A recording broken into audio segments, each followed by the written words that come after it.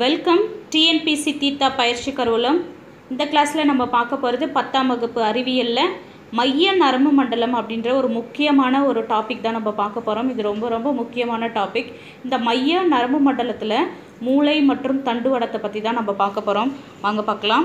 மைய நரம்பு மண்டலம் வந்து மூளை மற்றும் தண்டுவடம் ஆகிய உறுப்புகளை உள்ளடக்கியது அப்படின்னு சொல்கிறாங்க மைய நரம்பு மண்டலத்தில் தான் மூளை மற்றும் தண்டுவடம் இருக்குது இவை வந்து பாதுகாப்பாக மண்டையோட்டின் உள்ளேயும் முள்ளெலும்பு கால்வாயினுள் அமைந்துள்ளன அப்படின்னு சொல்கிறாங்க இந்த மைய நரம்பு மண்டலம் எங்கே இருக்குது அப்படின்னா பாதுகாப்பாக மண்டையோட்டின் உள்ளேயும் முள்ளெலும்பு கால்வாயினுள் அமைந்திருக்கு அப்படின்னு சொல்கிறாங்க மைய நரம்பு மண்டலம் வந்து இரண்டு பகுதிகளாக இருக்குது அப்படின்னு சொல்கிறாங்க அதாவது மைய நரம்பு மண்டலமானது மயிலின் உரையுடன் கூடிய வெண்மையா வெண்மையான பகுதி. மைய நரம்பு மட்டத்தில் மயிலின் உரை இருந்தால் அந்த பகுதி வந்து வெண்மையாகவும் மயிலின் உரையற்ற பகுதி வந்து சாம்பல் நிறத்துலையும் காணப்படுமா.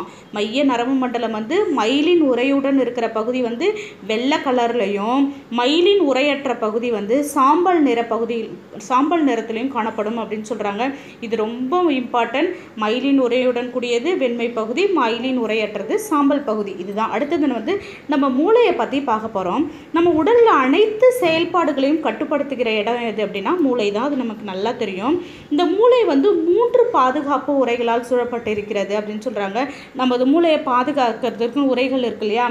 அது எத்தனை வகை அப்படின்னா மூன்று பாதுகாப்பான உரைகளால் சூழப்பட்டிருக்கிறது அப்படின்னு சொல்கிறாங்க இந்த மூளை உரைகளுக்கு இன்னொரு பேர் என்ன? மெனிஞ்சஸ் அப்படின்னு சொல்கிறாங்க இந்த மூளை உரைகளுக்கு இன்னொரு பேர் வந்து மெனிஞ்சியஸ் அப்படின்னு சொல்கிறாங்க இந்த மூன்று வகை மூளை உரைகள் எது எது அப்படின்றத பார்ப்போம்.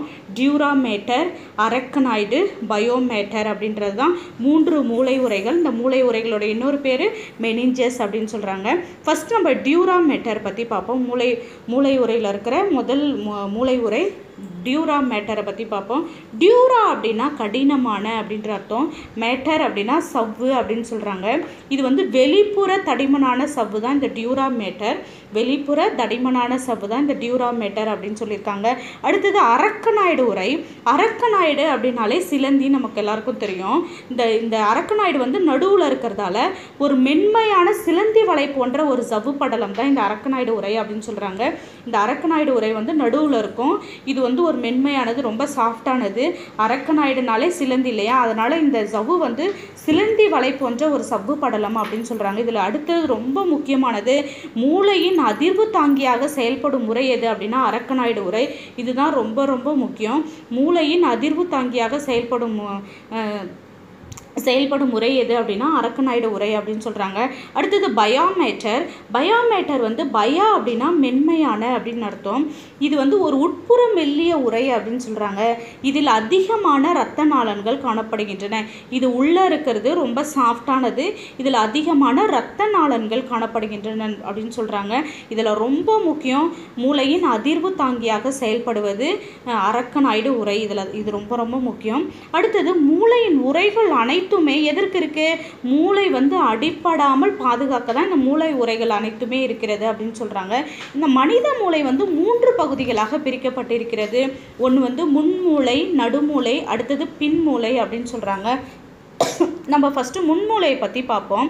முன்மூளையானது பெருமூளை மற்றும் டயன்செபலான் என்பவைகளால் ஆனது அப்படின்னு சொல்கிறாங்க முன் முன்னாடி இருக்கிற மூளை வந்து பெருமூளை அதாவது செரிபுரம் மற்றும் டயன்செபலான் என்பவைகளால் ஆனது அப்படின்னு சொல்கிறாங்க இந்த டயன்செபலான் எங்கே இருக்குது அப்படின்னா ம- டயன்செபலான் வந்து ரெண்டை கொண்டு இருக்கிறது. எது அப்படின்னா மேற்புற தாலமஸ் மற்றும் கீழ்ப்புற ஹைப்போதாலமஸை கொண்டிருக்கிறது அப்படின்னு சொல்கிறாங்க இந்த டயன்செபலான் வந்து மேற்புற தாலமஸ் மற்றும் கீழ்ப்புற கொண்டு இருக்கிறது அப்படின்னு சொல்கிறாங்க முன்மூளை வந்து எங்கள் முன்மூளையில் எது எதுலாம் இருக்குது பெருமூளை மற்றும் டைன் செபலா ரெண்டு ரெண்டு பகுதிகளால் ஆனது தான் இந்த முன்மூளை. இந்த டயன்செபலான் எதை கொண்டிருக்கிறது? மேற்புற தாலமஸ் மற்றும் கீழ்ப்புற ஹைப்போ தாலமஸை கொண்டிருக்கிறது. இதுதான் மூளையின் மூன்று உரைகள் முன்மூளையை பற்றி பார்த்தோம் பெருமூளை வந்து ரொம்ப பெருசு அப்படின்றதால நெக்ஸ்ட் கிளாஸில் நம்ம பார்ப்போம் பெருமூளை தான் ரொம்ப ரொம்ப முக்கியமானது.